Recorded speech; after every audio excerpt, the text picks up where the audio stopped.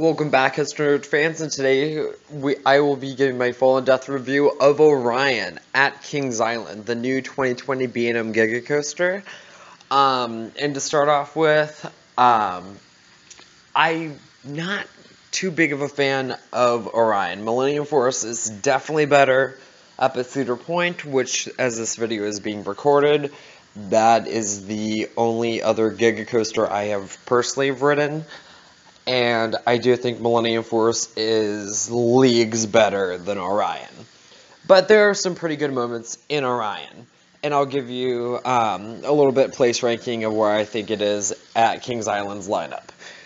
So, you, um, the 300 foot drop really honestly does not feel that long. Does not feel 300 feet. Um, compared to Millennium Force, you can definitely feel that height, even though there's a bunch of rides there that are 200 plus feet at Cedar Point. It really does not feel 300 foot. It really just feels like a super tall B&M hyper coaster. And I'll be giving a lot of comparisons to the other B&M hyper coasters I've ridden, um, like Mako and Diamondback and Nitro. All three of those guys, even Candymonium, has a better first drop than Orion, which is kind of crazy to think about. Um, the first overbank turn really doesn't give that good of airtime either. I rode both the front and the back, and the back on Orion, it's pretty good off the drop. Um, the overbank's okay. But I just feel like B&M really just tried to do something that they really haven't been doing, which is kind of out of their reach.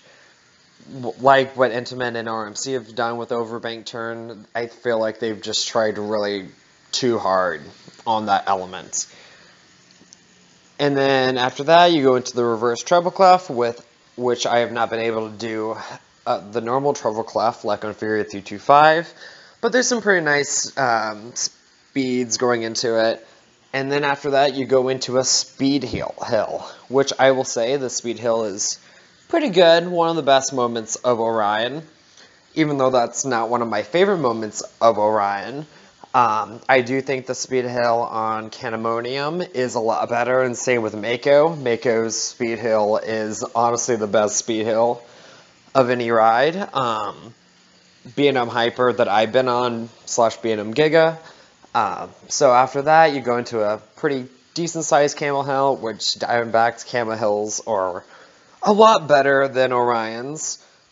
Then you go into the super, super intense Helix, which is a lot better than Candymonium's, but it's not as good as Goliath at Six Flags Over Georgia's Helix or Nitro's Helix, or even actually Diamondback's Helix in the same park.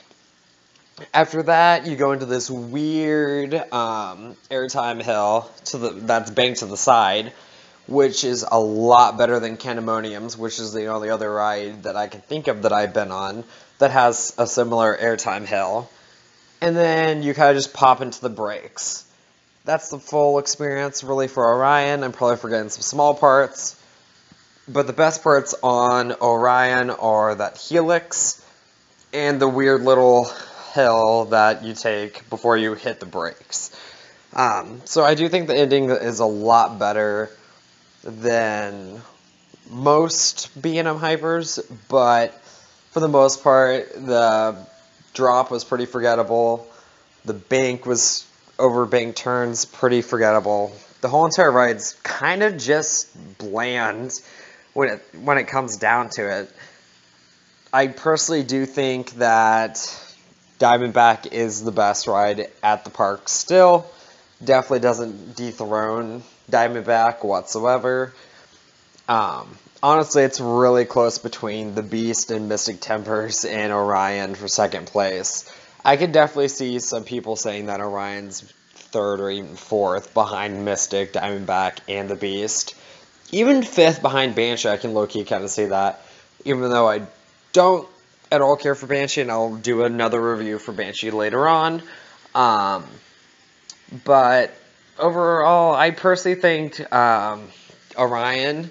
It's a decent fit for Kings Island. We've been wanting a Giga, and they gave us a Giga.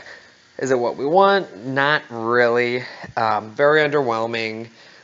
It barely makes into my top 50 coasters that I've ridden out of 156 currently as this video is being made. But overall, it's a decent ride, has some really good stats. But I will say the um, compared to Millennium Force or any other Cedar Fair ride, it does have really good theming.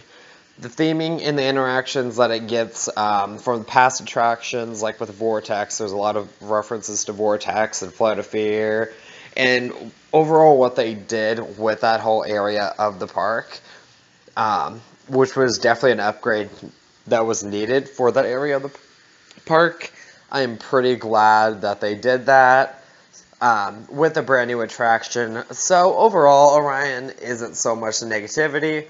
Um, the ride experience, definitely underwhelming for a season coaster enthusiast, but someone who just casually goes um, to Kings Island and doesn't really get to go anywhere else. It'd be a, it's a really good coaster. Um, but anyway, if you guys like this video, leave a like, leave a comment, and we'll see you guys out in the queues.